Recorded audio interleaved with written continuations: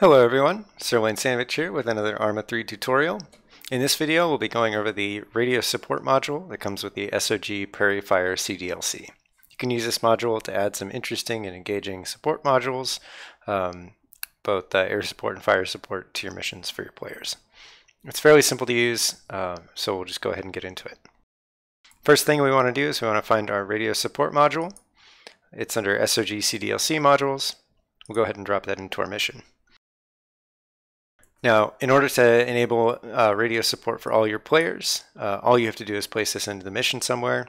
Um, this is really great for maybe when you have a single player mission and you just need to give access, or maybe you want all of your players in a mission to be able to access radio support. The location uh, seems to matter for the time that artillery fire support takes to arrive, uh, but doesn't seem to affect the time that air support takes to arrive, presumably because your air support would be loitering on station uh, waiting for a support request. So like I said, if you want everybody to have access, all you have to do is drop it into the mission. Uh, and let's go ahead and test that.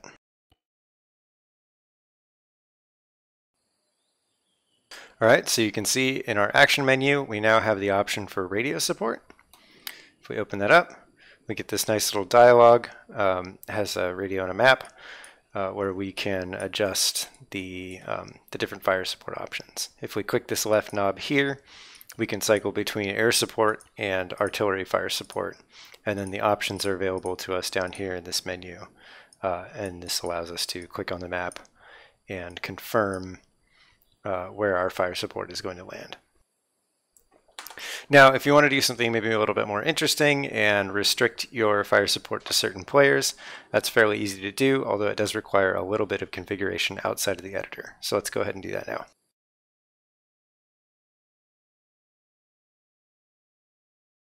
First thing that we're going to make sure we do is that we're going to save our mission. And then we're going to go to our desktop, and we're going to locate the folder that the mission is saved in. Again, typically under documents, other ARMA 3 other profiles, your profile name, missions, uh, and then your mission name. Uh, you can see we've already created a file description.ext, so we'll go ahead and open that. Uh, this is where we'll be pasting our configuration file. The default configuration is available on wiki.sogpf.com. If you go to the radio support article, there is a default CDLC config, which we can open up here. This has all of the default artillery settings uh, that are set for, um, for the radio support module. We're going to go ahead and copy everything here and paste that into our description.ext. Now, there are a couple of things that we're going to go over in this. Um, the mainly the uh, configurable settings are up here. Uh, you can do some configuration of the individual classes to adjust what fire supports are enabled. Uh, for instance, if you want to get rid of uh, like the napalm uh, bombing run, you can delete this class sundowner here and it won't appear in the menu. But the main ways we can configure uh, are up in these artillery settings here. There's a cost variable, which allows you to set uh, a variable to track the cost uh, or to track the, uh, the points available for calling artillery. You can see that each individual artillery uh, or air support uh, option has a cost associated with it. So if you set a cost variable and then modify that variable throughout your mission, you can limit the amount of artillery that is available for the uh, players to call. Now we have the, uh, the uh, availability array here, uh, which allows us to set who can access fire support. By default, it, the first option is set to 1, which sets it to always available. The rest of the options in order are radio backpacks, radio vehicles, player types, and um, the VN artillery unit trait. So uh, radio backpacks include all the, the default radio backpacks in the game. Um, the uh, radio vehicles include some of the unarmed trucks uh, and jeeps uh, that are included in the CDLC.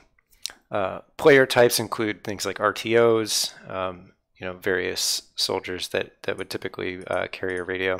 Uh, and then this final setting allows us to set a unit trait and make fire support available to those units. We'll go over that in a moment. The danger distance just sets the distance from the edge of a blacklisted marker, uh, those being the respawn markers that uh, artillery and aircraft cannot be called in. So uh, this is to help uh, make sure your your buddies aren't getting friendly fired on top of a respawn by artillery. Uh, and then the unit trait required uh, is slightly different from the availability unit trait number here. Unit trait required stacks with availability. So for instance, if, if I had, um, if I change this here, we'll set it to uh, radio backpacks, radio vehicles, um, and our uh, VN artillery unit trait. So now what this would do is it would allow all players with radio backpacks or in radio vehicles or players with the VN artillery unit trait. Now, if you want to restrict this even further, what you can do, set this to zero again and set unit trait required to one so that uh, instead of um, giving access to all units with the VN artillery unit trait, it will require backpacks or vehicles, and it will require the unit to have that trait as well. So that's how you can kind of restrict things uh, to your players. All right, let's go ahead and save this, and then uh, we'll test it in the editor.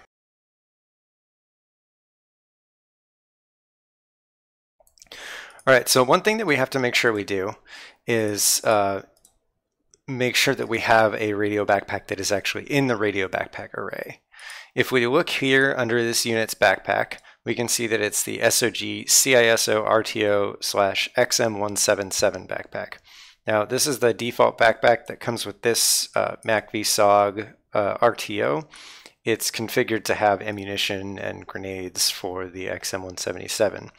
However, uh, this backpack is not included in that array. So if you want your units to be able to access the fire support options by using a backpack, you have to switch this to one of the backpacks that's in the array or add the backpack that they're wearing to the array. So we're just going to go ahead and switch this to the CISO RTO backpack. Click OK. And now we'll go ahead and test it in the mission. Uh, the other thing that I've done is added the trait to this RTO. If we open up his settings, we can see in the init line, I've added this set unit trait, and then open bracket VN artillery, which is the trait that's required, comma true, comma true, close bracket, semicolon. Don't forget your semicolons, your code doesn't work without them. Now the true, the first true is setting the trait for this unit to true, and the second true is required because this, uh, this unit trait is a custom unit trait. If you were doing something like setting the unit trait to uh, medic or engineer, you wouldn't require that second true because those are in the, the default ARMA 3 unit traits. But because this one is added by the SOG Prairie Fire DLC, um, you have to add that second true as it's technically a custom trait. All right, so let's go ahead and launch the mission and we'll see um, how this affects things. All right, so you can see that I have the radio support option in my action menu right now, but if I go ahead and drop my pack, now I no longer have access to radio support because I'm not carrying an RTO backpack.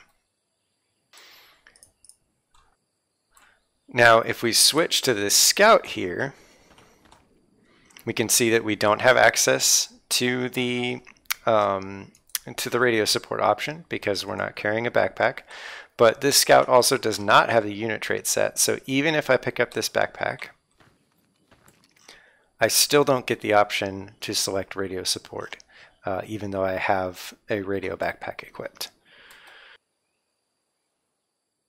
So that's one of the ways that you can limit um, who has access to the radio supports. You can use either the backpacks and vehicles, uh, or you can just set that trait for anybody who you want to have the uh, access to the uh, artillery, or if you use trait required instead of using the trait in the avail availability array, you can make it so that um, the trait and the item are both required for access to the RTO role.